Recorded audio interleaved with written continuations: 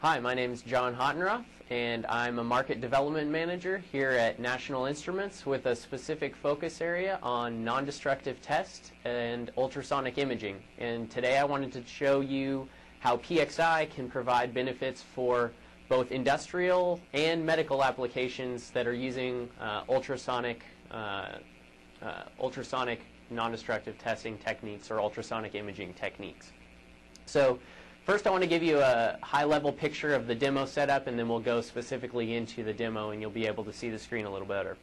So I have a couple power supplies in my PXI chassis, and the power supplies are providing power for the high-voltage pulser that I have external on the bench. Now, this pulser was designed by uh, Diagnostic Sonar, um, and they're a partner who we also worked with on the demonstration um, and the software that you're going to be uh, viewing today.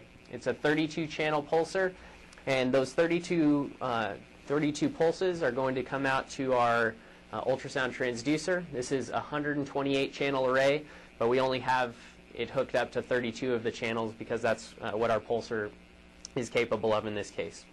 We're going to be looking at a steel sample today, and the steel sample has a uh, kind of V configuration of, of holes drilled in the side. So the holes are one and a half millimeter diameter, and we're going to be looking um, and showing how we can actually see the holes in the steel sample. But the same technology can apply to carbon fiber composite or any of a number of other materials. And again, as I mentioned, the, the same technology applies for medical as well. So we're going to generate our high voltage pulses. It'll convert it into an ultrasound signal. Uh, it'll come into the material, reflect back, and then we're going to be receiving that same signal back on the 32 channels um, of the, of the pulser module, and that's going to be passed back through these cables to our FlexRIO module. Now, the FlexRIO module is really the core of the system, and what FlexRIO is, is it's something that combines uh, interchangeable I.O. with a user programmable FPGA.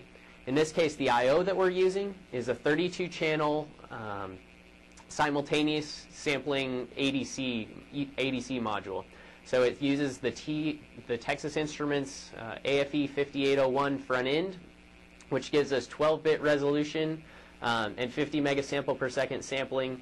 Um, again, we're using four of those to give us the full 32 simultaneous channels. Now that uh, front end also combines additional option or additional uh, features like a programmable array to give us things like time variable gain as well as filtering options all built into the front end. So this is specifically designed for these types of applications. Now once the data is, is acquired from the ADCs, um, it's going to go into the FPGA module, um, which is uh, a module that basically combines a high-performance Virtex 5 FPGA from Xilinx and allows uh, the user to actually define the functionality of that module, in this case to take data perform additional processing, and that processing could be anything from fast Fourier transforms to peak detect to uh, gating to uh, filtering, um, or really any of, of a number of, of different algorithms that, that the user wants to define as well, um, and even triggering options.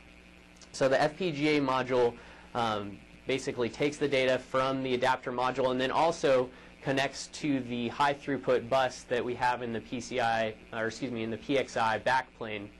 And the PXI backplane provides high throughput um, up to 800 megabytes per second if we're using PCI Express back to our host PC. So in this case, um, we're acquiring data, doing some initial processing, and then passing the data back to the, the computer or the embedded controller in this case for additional processing and display. All right, moving to our demo. We've created a LabVIEW interface, and so we've used LabVIEW to program uh, basically what's happening both on the PC or on the host side, as well as what's happening inside the FPGA. And so we have the ability to configure various aspects of the array, including the number of elements, in this case, um, the frequency, which we we, are using a 3.5 megahertz array, uh, and a variety of other functions, acquisition parameters, uh, the beamforming processing that we're actually going to be implementing to create the image, and then various characteristics of the display as well. So on the acquisition tab, I've selected my target configuration to be uh, basically this steel sample that I showed you previously. And um, I'm going to select that target configuration. On the right side, I can see our cascade plot. So this is basically our 32 channels of the uh, uh, that we're acquiring, and we're basically seeing those in real time. Now, when I move my array across the steel sample, we can see on those 32 channels that basically we can see that, that something's happening. So I'm just moving it back and forth, uh, and I can see that, that we're receiving um, some, indicating some sort of discontinuity um, that we're receiving back from the, from the um, ultrasound pulses that we're sending out. And obviously, we, we need to see, or we need to perform additional signal processing to actually uh, turn that into an image. And so uh, we've done that, so we have the beamforming processing that actually allows us to view the holes um, in the steel sample, and we can see the configuration that we have. So the ultrasound pulses are coming from the left of our screen, and you can see we can that we have one, two, three, four, five, six holes. Again, I mentioned they're one and a half millimeter um, drilled holes in the side of the steel. I can actually normalize this to give us a little bit better re resolution, and we can see uh, that we even have the ability to uh, look at the 3D image. And again, as I go across, uh, we can view that real uh, or that image in real time um, of, of, of, the holes in the sample. We also have the ability to change uh, configurations like adding or subtracting filtering. So I had the filter option enabled or the high pass filter option enabled and we can see the impact that that has both on the image um, as well as how uh, fast it's updating. And so one of the nice parts about an FPGA is that we can um, specifically move processing into or add processing uh, in the FPGA without actually impacting the performance of our application. Now I'm going to switch over to another configuration where we're looking at the full depth of the steel. Again, I'm going to select my configuration. It's going to take a moment for it to, to load and, and update the parameters.